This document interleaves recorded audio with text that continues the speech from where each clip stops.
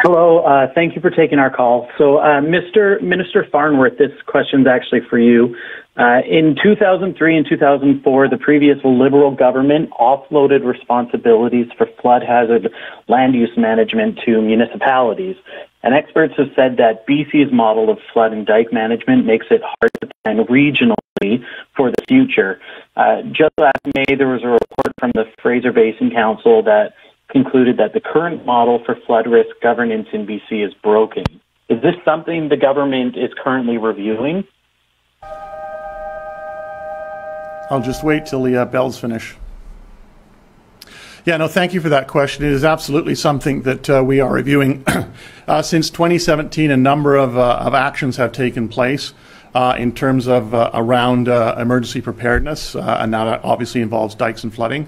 one, as I've outlined before, is us signing up to the Sendai framework, the first um, uh, province to do so, along with the federal government, uh, and an overhaul uh, underway in terms of the Emergency Program Act, the first significant overhaul since 1993. Uh, we are currently uh, working on a BC flood strategy. That work is underway, and that is also going to be part and parcel of the, uh, the new legislation that we're looking at uh, for 2022. Uh, since 2017, we have invested more than $105 million in uh, improving our, our, dikes, for example, and improving flood mapping. But obviously, a lot more needs to be done.